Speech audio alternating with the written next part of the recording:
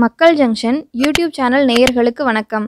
குழந்தைங்களுக்கு இடையே வந்து நீங்கள் செடி வளர்த்துறத கொஞ்சம் ஆர்வமாக கொண்டு வரணும் அப்படின்னா நீங்கள் ஏதோ ஒன்று கொஞ்சம் கலர்ஃபுல்லாக கொஞ்சம் அவங்களுக்கு பிடிக்கிற மாதிரி கார்ட்டூன் இமேஜஸ் அந்த மாதிரி தான் பண்ணணும். ஸோ நாங்கள் இதுக்கு பிளான் பண்ணி பண்ணியிருக்கிறது என்னென்னா கேண்டி சீட் பால் கேண்டின்னு சொல்லிட்டு ஒன்று பண்ணியிருக்கோம்.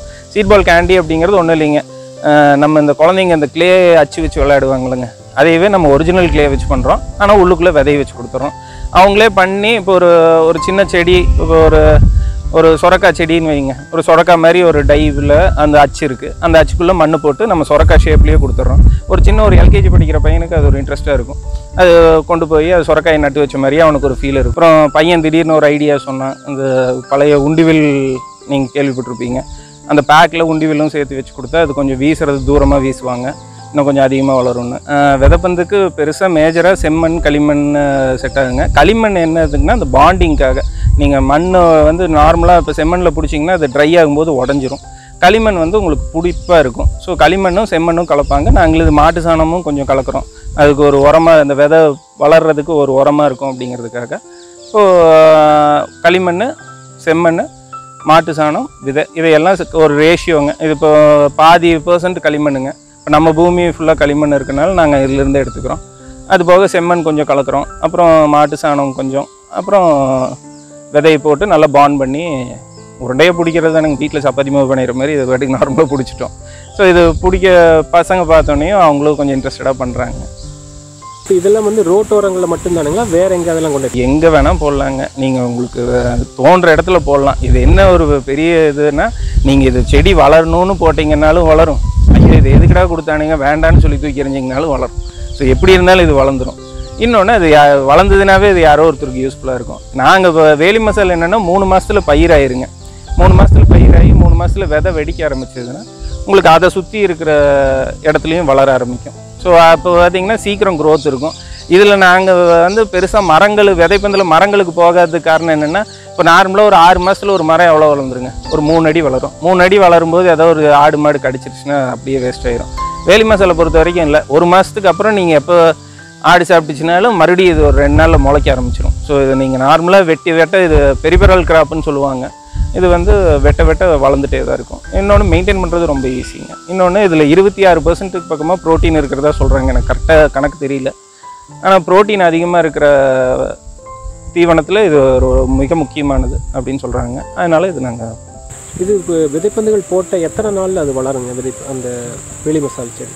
இது தண்ணின்னு பட்டுருச்சுன்னா ஒரு ரெண்டு நாளில் வளர ஆரம்பிச்சிடுங்க ஸோ இதை இன்னைக்கு போடுறோம். இந்த சீசன் நல்ல சீசனுங்க இப்போ இந்த கொரோனா டைம் அப்போல்லாம் சம்மரு ஸோ அப்போல்லாம் விதைப்பந்து பிடிச்சோம். இப்போ நாங்கள் போட்ட இடம்லாம் இப்போ ஒரு மழை பெஞ்சதுன்னா ரெண்டு நாளில் முளைக்க ஆரம்பிச்சோம் அது எவ்வளவு காலத்துக்கு அந்த பயிர் இருக்குங்க? இது எவர்லாஸ்டிங் க்ராப்புங்க இங்கே தோட்டத்தில் போட்டவங்களே பார்த்தீங்கன்னா பத்து வருஷம் பதினஞ்சு வருஷம் வேலி மசால் மட்டுமே போட்டு வளர்த்துறவங்க இதே இருக்குது தோட்டங்களே நான் பார்த்துருக்கேன். ஸோ அது என்னங்க வெட்ட வெட்டன்னு உங்களுக்கு வளர்ந்துட்டே இருக்கும்போது உங்களுக்கு அதிக உங்களுக்கு நல்ல மகசூல். உங்களுக்கு பெருசாக இன்றைக்கி வந்து பயிர் பண்ணி அதை காசு எடுக்கிறதுங்கிறது இன்றைக்கி விவசாயிகள் ரொம்ப கஷ்டப்படுறாங்க. ஸோ இந்த மாதிரி ஏதோ நம்மளது ஒருங்கிணைந்த பண்ணையங்கிறதுனால அதுக்கு தகுந்த மாதிரி நாங்கள் இப்போ அது வந்து கால்நடைகளுக்கு மட்டும்தானுங்களா? இல்லை கோழி மற்ற இதுக்கெல்லாம்? இது வந்து நீங்கள் கோழிக்கு நீங்கள் வந்து கொடுத்து பழக்கிட்டீங்கன்னா நீங்கள் வேணால் நான் காமிக்கிறேன். கோழிக்கு கட்டி விட்ருக்கோம் அது எப்படி சாப்பிடுதுன்னு மட்டும் பாருங்க.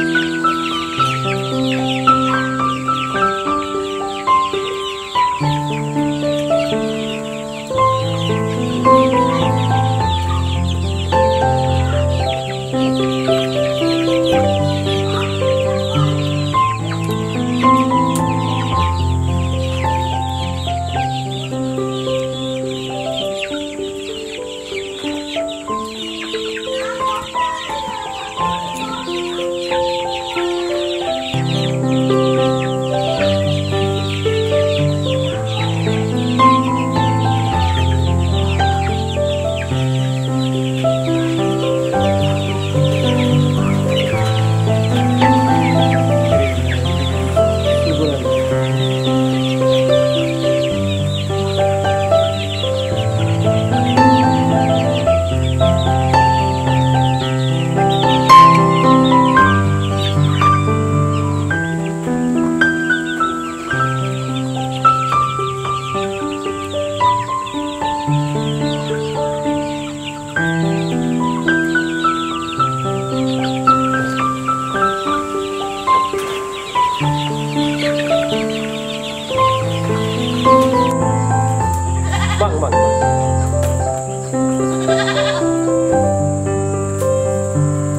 அவ்வளோ விரும்பி சாப்பிடும் ஆடுகளுக்கும் அதே மாதிரி தான். ஆடு மாடு ஏன்னா இதில் ப்ரோட்டீன் ரிச்சுங்க எந்த உயிரினமாக கோழி ஆடு வளர்த்துறவங்க எல்லாத்துக்குமே இது ரொம்ப யூஸ்ஃபுல்லாக இருக்கும். இன்னொன்று அந்த பெரிய இது இப்போ பார்த்தீங்கன்னா வேறு சீம்பிள்னு சொல்கிறாங்க சூப்பர் நேப்பியர்னு சொல்கிறாங்க ஸோ இதெல்லாம் வளர்த்து சி விதைப்பந்தில் அடக்க முடியாது. ஸோ வேலி மசால் வந்து விதைப்பந்தில் அடக்கிற மாதிரி இருக்கும். ஆமாங்க ரொம்ப ஈஸிங்க நீங்கள் நான் ஒரு நூறு விதைப்பந்து போட்டிங்கன்னா கண்டிப்பாக நூறு முளைக்கும் மித்த எந்த ஒரு பயிருக்கும் வேறு எந்த நீங்கள் இப்போ வேம்பு அந்த மாதிரி எது போனீங்கன்னாலும் இதோட க்ரோத் ரேட்டுன்னு பார்த்தீங்கன்னா எட்டு பர்சன்ட்லேருந்து பத்து பர்சன்ட் தாங்க. ஆனால் வேலி மசால் மாதிரியான ஹார்ட் வெரைட்டி ஆஃப் க்ராப்ஸ் வந்து நூற்றுக்கு நூறு பர்சன்ட் நான் டேம் ஷோராக சொல்லுவேன். நூறு பர்சன்ட் கண்டிப்பாக முளைக்கும். ஏன்னா இது ஓர வழியில் கீழே விழுந்ததெல்லாம் முளைச்சிருக்குதுங்க எங்கள் தோட்டத்தில். வேலி மசால் நீங்கள் நார்மலாக ஒரு மூணு மாதத்தில் ஒரு ஆறு அடி உயரம் வருங்க மண்ணோட தன்மையை பொறுத்துங்க இது.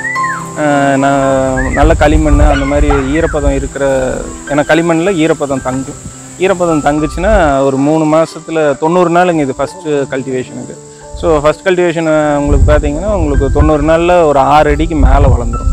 இன்னொன்று நல்ல கேப் விட்டு வளர்ந்ததுன்னா நல்ல ஹைட் போகுங்க. கேப் இல்லாமல் நார்மலாக இந்த பயிர் பண்ணுறவங்க ரொம்ப நெருக்கமாக போட்டுருவாங்க. அப்போ வந்து உங்களுக்கு ஈல்டு வராது. நம்ம வேலி மாதம் விதை பந்தா போடும்போது எப்படியும் கேப்பாக தானே உங்களுக்கு ஸோ நல்ல க்ரோத் எனக்கு தெரிய இது தீவனத்துக்கு மட்டும்தான் பயன்படுதுங்க. வேறு எதுக்கும் பெருசாக எனக்கு தீவனத்தை விட பெரிய பயன் இருக்கிற மாதிரி எனக்கு தெரியல. நீங்கள் நார்மலாக இது அழகுக்கெல்லாம் வளர்த்த முடியாது. இப்போ எனக்கு தெரிய ஒரு நாலஞ்சு பெட் ஷாப்பில் கேட்டாங்க. இந்த வீடியோ பார்த்துட்டு ஃப்ரெண்ட்ஸ் வந்து பெட் ஷாப்பில் அது என்ன வேலி மசால்னா என்னன்னு கேட்டாங்க. அது கிளிக்கெல்லாம் கொடுத்து பார்த்தாங்க அது நல்லா சாப்பிட்டுச்சுங்க. மறக்காம லைக் ஷேர் அண்ட் சப்ஸ்கிரைப் பண்ணுங்க. இது போன்ற மேலும் பல நல்ல தகவல்களுடன் அடுத்த வீடியோவில் சந்திப்போம். நன்றி வணக்கம். எப்போ எல்லாருக்கும் வணக்கம்ப்பா. எப்போ பங்கா ஜங்ஷன் சேனலுக்கு லைக் பண்ணுங்கப்பா கமெண்ட் பண்ணுங்கப்பா ஷேர் பண்ணுங்கப்பா. எப்போ சப்ஸ்கிரைப் பண்றவங்களுக்கு ஃபைவ் தௌசண்ட் இன்க்ரிமெண்ட் போ. என்னப்பா நான் சொல்றது?